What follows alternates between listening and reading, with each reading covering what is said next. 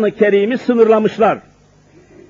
Okunacak ayetler, okunmayacak ayetler diye. Yani din ile alakalı ayetlerin okunmasına müsaade etmişler, açıklanmasına. Devletle, dünya ile alakalı ayetlerin okunmasına müsaade etmemişler, açıklanmasına müsaade etmemişler. Geçen hafta arz ettim hani mahkemeden çağırdılar gittim geçen hafta biliyorsunuz. Önüm, geçen haftadan evvelki hafta duruşmaya gittim. Postacı kardeşimiz celp kağıdı mahkemeden kağıt getirdi aldım gittim. Görüştüm.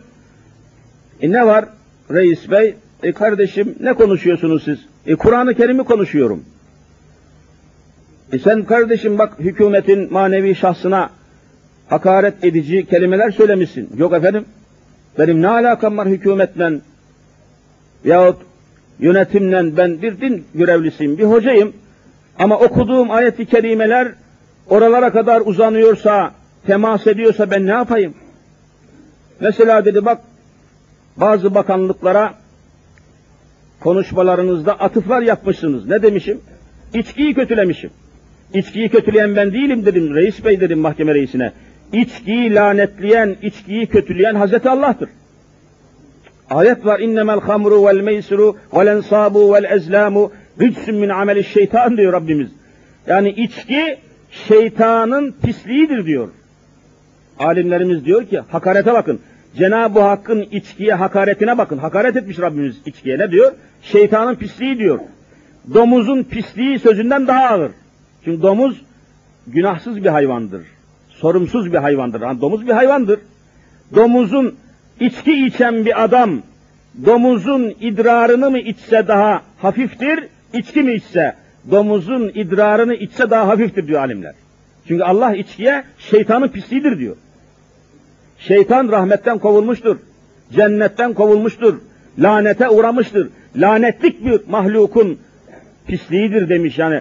İçkiye Allah'tan daha büyük hakaret eden yok. Biz bizim bizim ne alakamız var dedim. Ayet-i kerime böyle. Bakın şimdi. Peygamberimize gelince hadis-i şerifler var.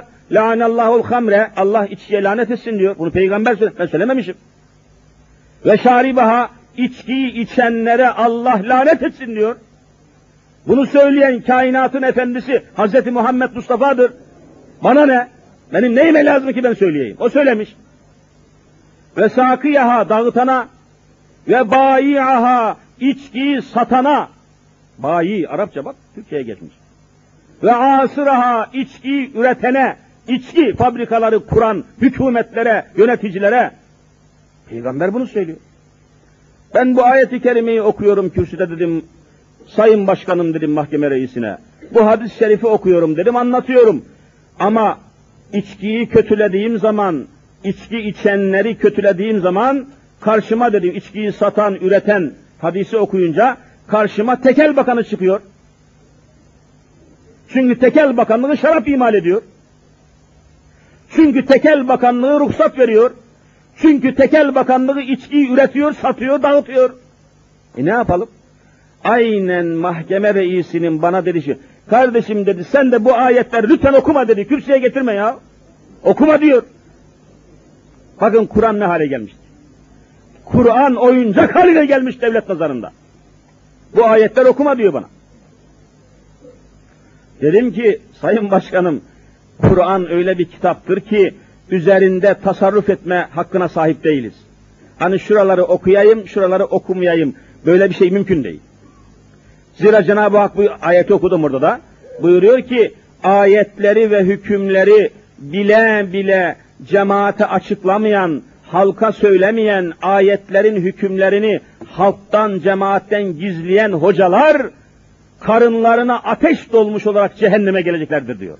Vallahi böyle ayet var. Ama sen de kürsüye getirme diyorsun ama sayın başkanım beni cehenneme gönderiyorsun dedim ya. Bu olur mu? Kardeşim haklısın ama ne yapalım diyor. Devlet var, hükümet var. Kur'an-ı Kerim'deki bu ayetleri okumayacaksın ne yapalım diyor. Yani Kur'an üzerinde ambargo koyuyorlar. Türkiye Cumhuriyeti vallahi Kur'an üzerine ambargo koymuş. Ambargo. Amerika öyle yapmadı mı Kıbrıs zamanında bize fantom uçakları vermişti ama ambargo koymuştu. Bu uçakları Kıbrıs'taki Hristiyanlara kullanmayacaksın dememiş miydi? Ambargo buna deniyor zaten.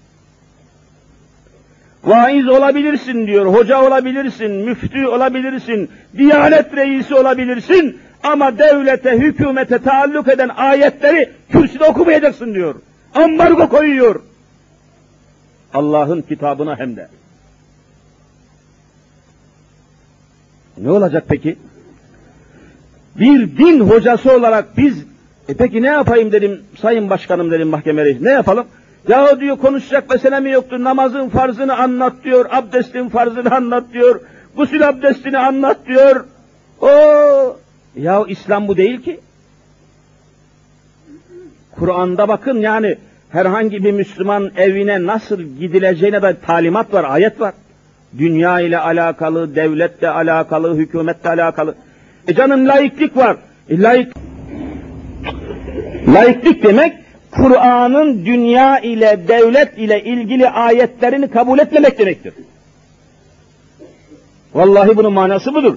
Laiklik ne demek diye bana sorulsa, laiklik ne demek hocam?